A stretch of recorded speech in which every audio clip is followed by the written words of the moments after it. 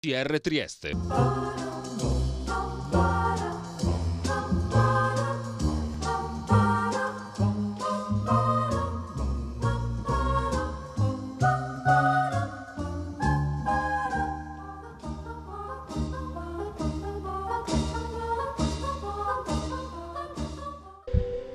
Quella di oggi è una puntata molto particolare di Trieste Arte. Nel corso delle puntate precedenti, molto spesso, abbiamo citato la figura del professor Decio Gioseffi. Abbiamo perciò deciso di dedicare questa puntata di Trieste ed Arte, seppur parzialmente, alla figura di, questo, di, questa personalità del mondo dell'arte triestina. Lo facciamo assieme alla professoressa Nicoletta Zanni, alla mia sinistra, e assieme a Giuliana Carbi dello studio Tommaseo. Prima di affrontare la figura del professor Gioseffi, però parliamo un pochettino, Giuliana, anche dello studio Tommaseo.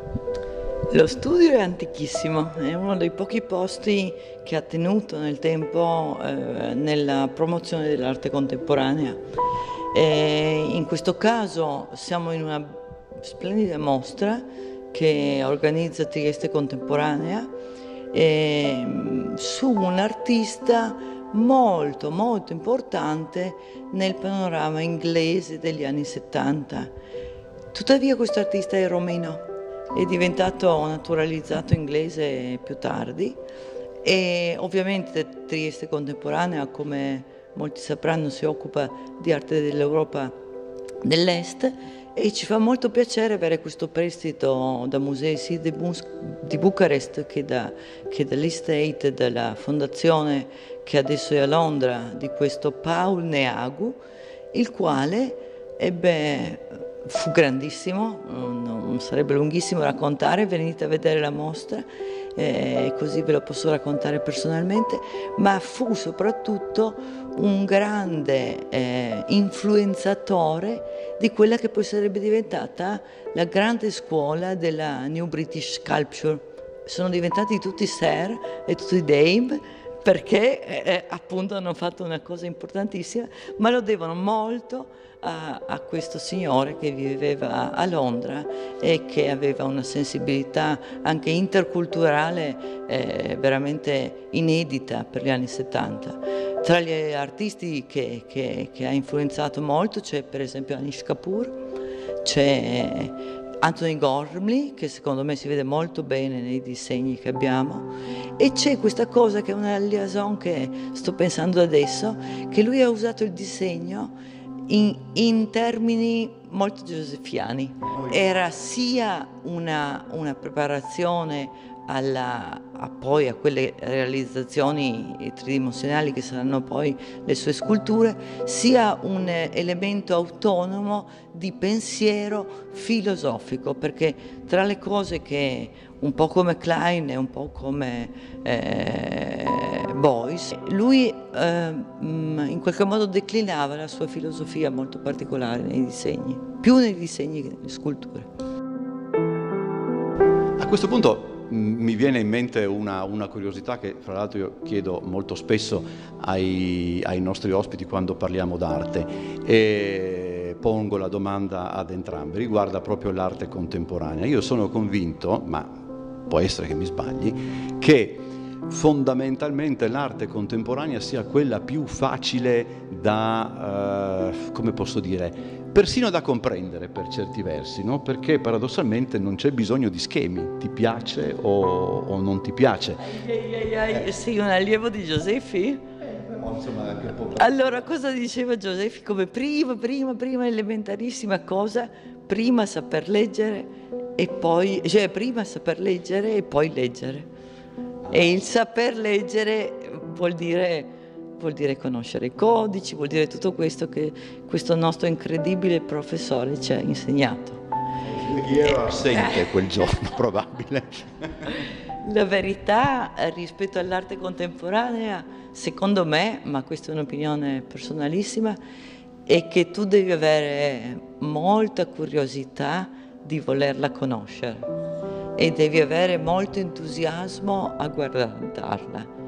e solo dopo puoi eh, decidere di, di, voler leggere. Cioè, questo è un passaggio in più che io chiedo rispetto, rispetto a, a, agli insegnamenti del nostro professore. Siamo un nucleo di tanti laureati, non si è mai parlato eh, specificamente di scuola gioseffiana, però eh, siamo in tanti che apparteniamo a questa scuola, che abbiamo assimilato il metodo di Gioseffi e che eh, ci ritroviamo. Eh, abbiamo seguito sicuramente strade diverse dopo la laurea, eh, tante professionalità diverse, chi ha insegnato all'università, chi a scuola, chi ha fatto il giornalista, chi ha fatto il regista, chi ha fatto il bibliotecario, l'archivista, eccetera. Però eh, ci sentiamo tutti accomunati da questa mh, mm, passione per la ricerca, ecco, per la ricerca, per la ricerca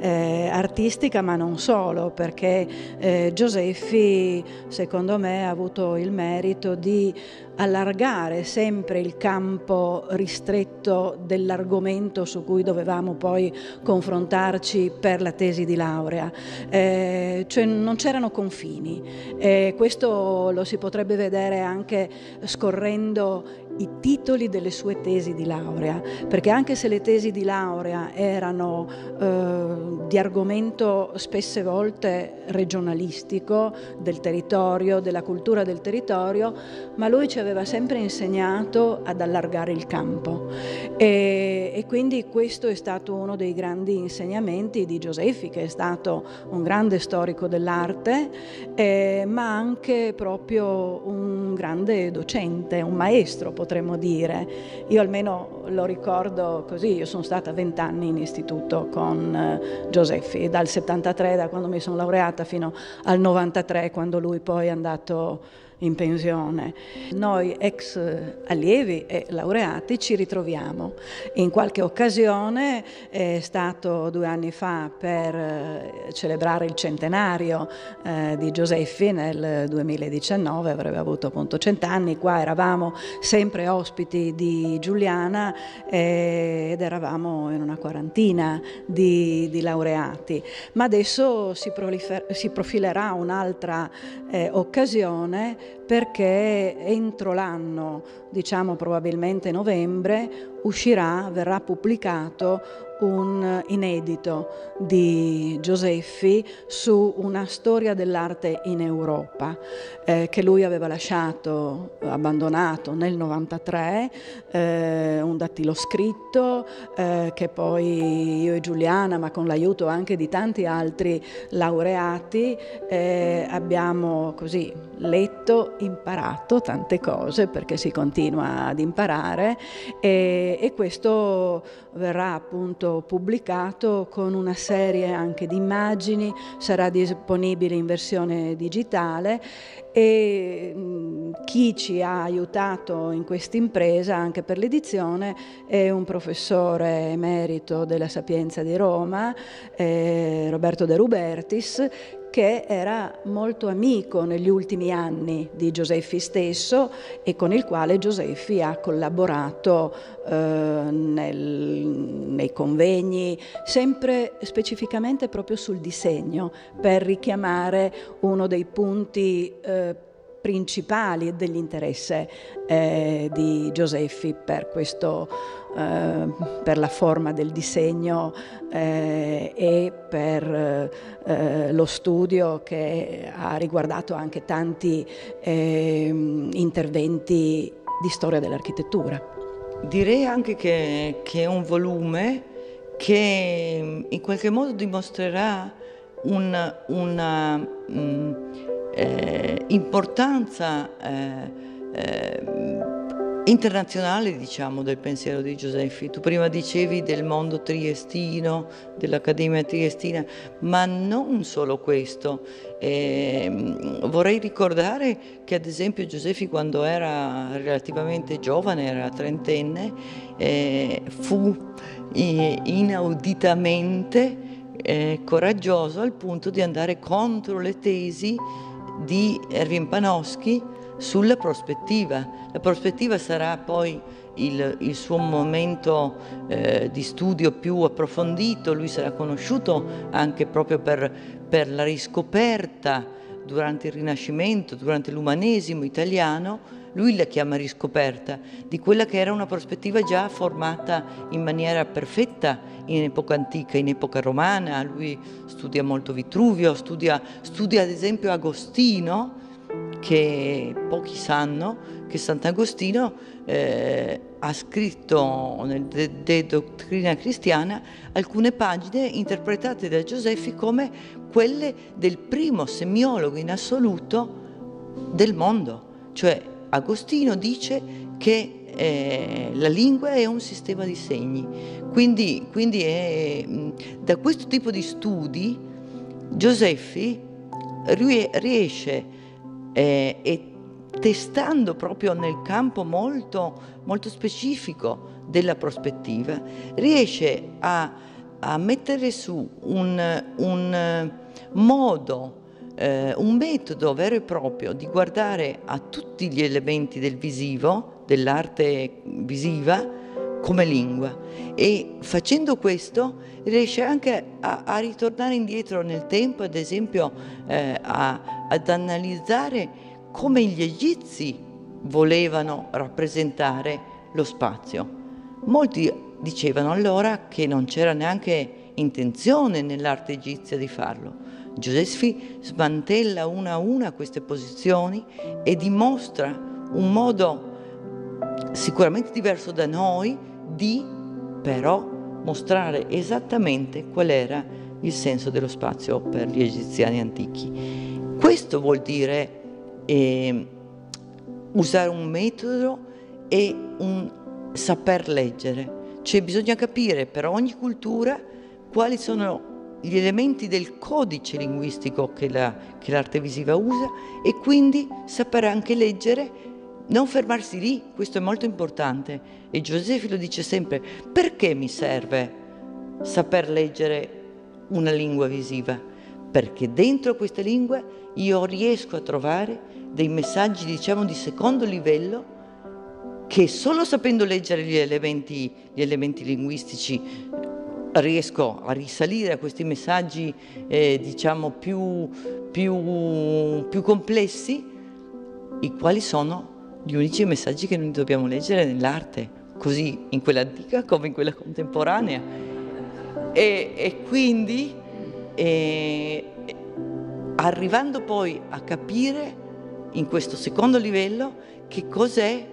quello che voleva esprimere veramente l'artista. Ma che cos'è quello che voleva esprimere l'artista? Era il suo modo di sentire il mondo, era il suo modo di guardare ai fenomeni, alle emozioni, alle esperienze sue del mondo e restituire una sua reazione che poi è quello che nell'arte visiva molti chiamano la parte diciamo estetica e la parte, la parte del giudizio di valore. Quello che straordinariamente viene fuori dal libro, poiché il campo di applicazione di questa rigorosissima analisi che questo professore, che per coincidenza è un professore della storia dell'arte, perché potrebbe essere partito da qualsiasi altro punto e da qualsiasi altra disciplina per arrivare esattamente a porre, far porre a tutti noi l'attenzione verso un nostro comportamento nel mondo che sia responsabile. Allora quello che nel libro viene fuori è che in mezzo ad un campo molto più largo di tutta l'arte d'Europa, di tutti eh, gli autori fiamminghi, francesi, di, del, di, delle varie epoche, dal romanico al, Cinquecento, ma anche dall'antico, eh, viene fuori intanto per l'Europa questa grande eh, eredità dell'antico che è quanto ci unisce e che è quanto è, è, è diciamo la base sulla quale tutte le culture visive europee poi si fondano, ma viene fuori che saper leggere, sempre resto a questo perché eh, molto scherzosamente eh, il dottor Bosazzi accetta questi, questi nostri rimpalli, e il saper leggere porta a saper giudicare. Nel momento in cui io so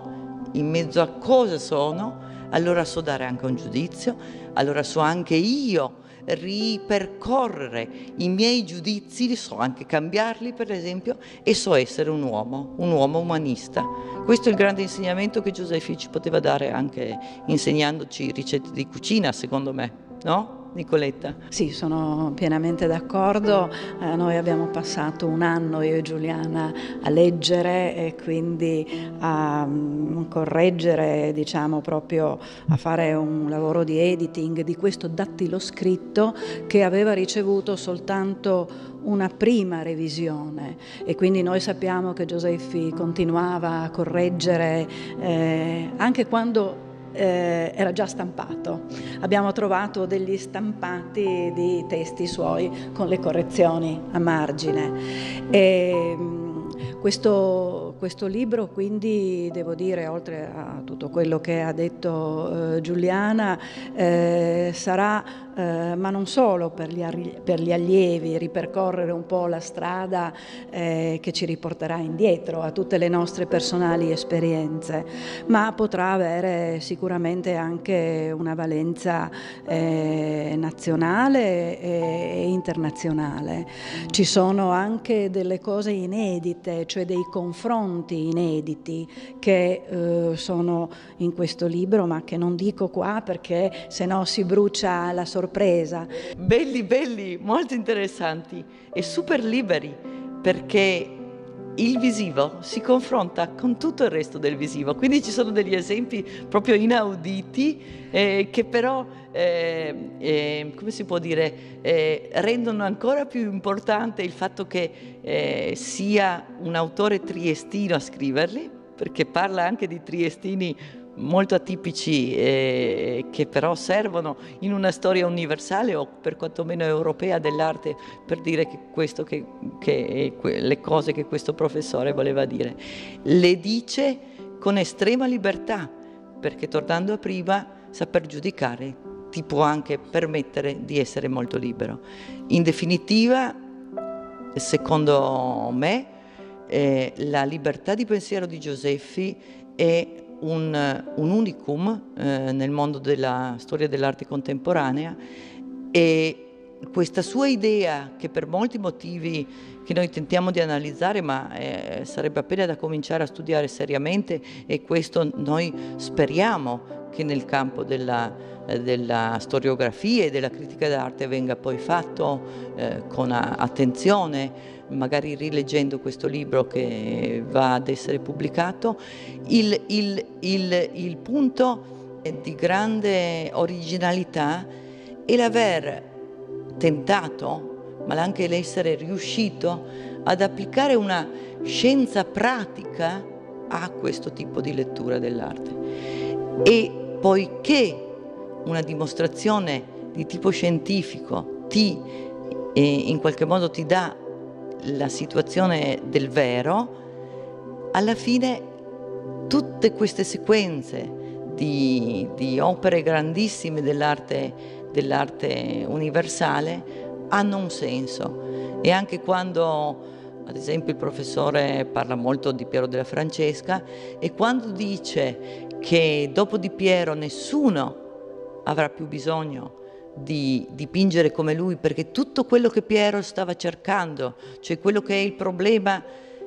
fondante di un artista, perché gli, i problemi devono sempre porsi dei problemi, gli artisti devono sempre porsi dei problemi, ma avere anche dei progetti su come poi andarli a, a, a risolvere. Ebbene, Piero aveva risolto un problema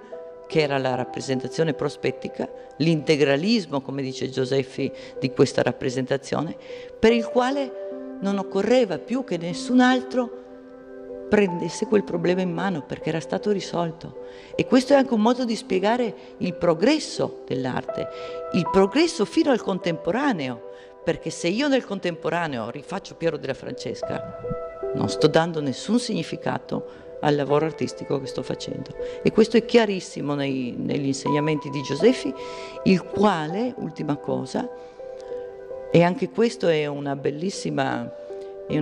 un bellissimo ritratto di questa figura grandissima, il quale metteva Uh, um, rodava, diciamo, eh, come se fosse un motore sempre acceso, eh, il suo pensiero dove? Non negli scritti accademici, ma nelle aule dei suoi allievi. Lui faceva le sue ricerche, le proponeva agli allievi e poi, anche dopo molti anni, le pubblicava nei, nelle riviste scientifiche della storia dell'arte. Quindi lui proprio sperimentava la tenuta delle sue ipotesi eh, davanti, facendoci fare anche cose molto strane, ad esempio misurare sugli specchi dell'istituto i tre punti della rappresentazione di Tolomeo, che, che non è una cosa semplice, ma è una cosa che è stata divertente per gli studenti e, e voglio dire, tutti hanno, grazie a lui, amato la storia dell'arte. Io da studente di storia del cinema, quella, in, quegli anni storia del cinema afferiva all'Istituto di Storia dell'Arte, io feci un corso monografico dove tra le tante, tra le tante idee, tra i tanti suggerimenti c'era un paragone per nulla eh, campato in aria fra Tiepolo e Cécile B. DeMille. Gioseffi sosteneva che Tiepolo eh, metteva in scena nei, suoi affreschi nella misura in cui anni dopo Cecil B. DeMille avrebbe messo in scena le comparse e i figuranti nei suoi film, nei suoi film epici. E noi, come dire, avevamo gli esempi di queste, di queste idee, di queste teorie, li vedevamo attraverso i, diciamo, in, uh, in, inglese si direbbe infamous, che però non significa famigerati come si potrebbe pensare,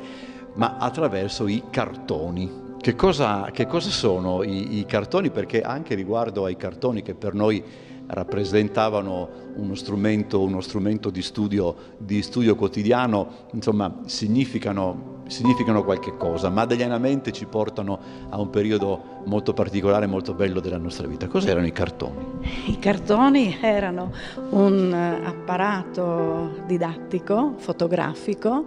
eh, che eh, corredava il corso che poi veniva eh, scritto in una dispensa. Ora, mentre le dispense dei corsi di Gioseffi, che spaziano da Brunelleschi a Giotto, a Tiepolo, ehm, alla pittura padana del Trecento, cioè erano sempre argomenti argomenti o di arte medievale o di arte moderna, con confronti molto audaci.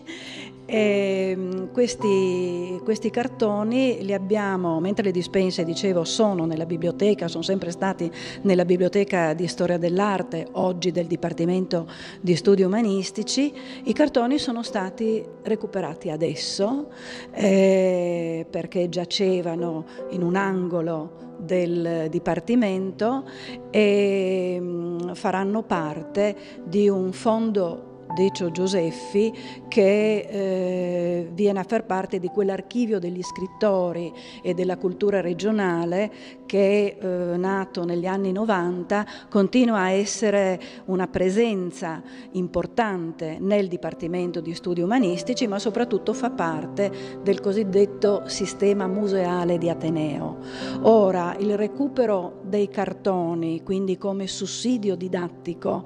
su cui noi abbiamo studiato, studiato, tutti hanno studiato su questi cartoni, la, il recupero delle diapositive, dei vetrini che accompagnavano la lezione in classe di eh, Gioseffi e devo dire io ho ritrovato anche, cosa che è sicuramente molto importante, i vetrini usati per i corsi di Roberto Salvini che aveva preceduto nell'insegnamento di storia dell'arte medievale moderna Gioseffi, Gioseffi era stato assistente assistente di Salvini e poi di Coletti. La storia dell'arte è un capitolo proprio della storia dell'arte anche da un punto di vista della didattica all'Università di Trieste. E quindi questi materiali che erano di aiuto per gli studenti oggi fanno storia e quindi dovevano essere in un certo senso eh, recuperati e eh, come testimonianza di come si faceva lezione una volta in cui non c'erano. Oggi abbiamo, usiamo i PowerPoint PowerPoint, eccetera, eccetera. Questo era però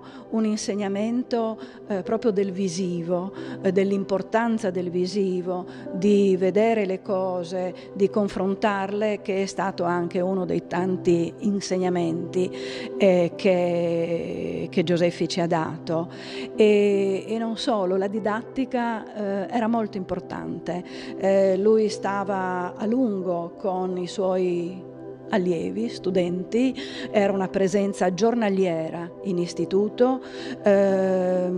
mostrava le cose perché ogni volta, ogni affermazione doveva essere dimostrata eh, e non campata, campata in aria. E, e quindi accanto all'attività di studioso, di ricercatore, c'era veramente questa didattica come campo sperimentale, eh, in cui sperimentava e si confrontava confrontava col pubblico degli studenti, quindi in una maniera autorevole da una parte perché era il cattedratico, ma in maniera molto generosa nei confronti dei suoi, dei suoi, studenti, perché molte delle idee che sono anche nelle tesi di laurea poi pubblicate nell'annuario di istituto Arte in Friuli, Arte a Trieste, eh, hanno avuto in un certo senso l'orientamento da parte del maestro, per questo io dico eh, Gioseffi è un maestro, e poi però eh, lasciava libero l'allievo di andare per la sua strada, per, eh, secondo i, i, propri interessi, eh, quindi anche nella scelta degli argomenti delle tesi di laurea lui era molto disponibile a quanto gli veniva proposto dall'allievo. Quindi l'atmosfera, devo dire, che si era creata nell'Istituto di Storia dell'Arte medievale moderna era un'atmosfera di grande collaborazione tra docenti, studenti e poi c'era la presenza anche eh, di una mm, persona che tutti ricordiamo, Luciano Maffeo, il nostro bibliotecario, con cui Gioseffi discuteva, discuteva eh, anche dei problemi veramente che in quel momento erano i problemi scientifici che lui doveva risolvere. Quindi una grande libertà, quella libertà che troviamo nei testi, negli scritti, nell'audacia di proporre delle, delle ipotesi eh, la, eh, l'abbiamo respirata. Libertà di pensiero, eh, grande, grande conoscenza di tutti i periodi della storia, grande conoscenza delle immagini, come se lui avesse un'enorme cartella di file che scorre velocissimo. Ebbene, eh, già nei corsi universitari, già in quelle che sono state le introduzioni al linguaggio dell'arte di ogni corso, perché Gioseffi le faceva ad ogni corso e le in qualche modo traguardava al corso monografico che poi avrebbe fatto quell'anno, ebbene le introduzioni generali dell'arte portano già nel 65, credo, 65-66, Nicoletta, un esempio che è questo qui. Voi vedete eh, in alto il dettaglio del celeberrimo lavoro di Picasso dedicato a questo, a questo terrificante bombardamento nazifascista di Guernica, Picasso va a guardare un, un volume conservato a Parigi, dove lui era, e, e, e che racconta la storia dell'Apocalisse. Guernica, il bombardamento, è un'Apocalisse. E quindi vedete, nell'immagine di sotto c'è questa miniatura del, dell'undicesimo secolo siamo nell'anno 1000 e qualcosa,